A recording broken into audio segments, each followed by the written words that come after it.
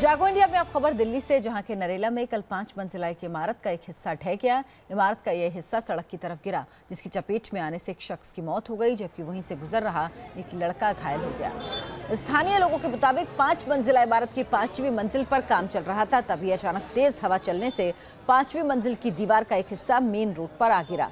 उसी वक्त वहाँ से बाइक पर गुजर रहे शख्स और ये लड़का मलबे के नीचे आ गए, जिससे बाइक चला रहे शख्स की मौत हो गई, जबकि तेरह साल का प्रशांत बुरी तरह घायल हो गया।